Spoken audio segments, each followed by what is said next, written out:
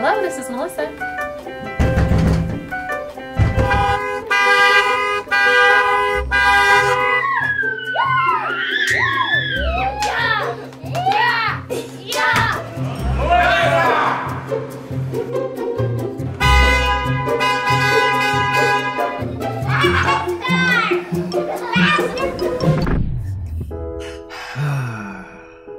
That's why you deserve a Buick.